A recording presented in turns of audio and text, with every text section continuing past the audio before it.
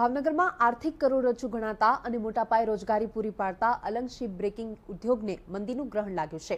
કારણ કે ship recycling યાર્ડમાં કાર્યરત એકમો ત્રણ સમસ્યાઓનો સામનો કરી રહ્યા છે. રેગ્યુલેટર ગુજરાત મેરીટાઈમ બોર્ડ તરફથી ઊંચા ચાર્જીસ અને ડોલરની સામે રૂપિયો સતત નબળો પડી રહ્યા હોવાથી ઉદ્યોગ પર તેની અસર વર્તાઈ રહી છે.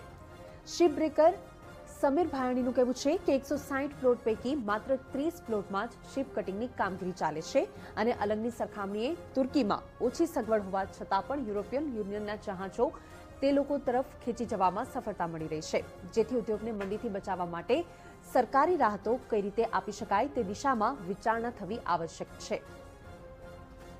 ખાલી પચીસથી ત્રીસ પ્લોટ જ ચાલુ છે અને વધારે બધા વેસલ્સ તુર્કી જઈ રહ્યા છે. એનું મેઇન કારણ અત્યારે યુરોપિયન યુનિયનવાળા વેસલ્સ બધા ઇન્ડિયાને વેસલ્સ ઓછા આપે છે.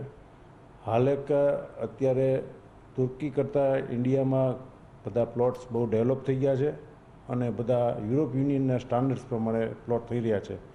અને ડોલરના ફ્લક્ચ્યુએશન્સના હિસાબે અત્યારે માર્કેટ અનઇવન છે. આ કારણે મંદી ચાલી રહી છે.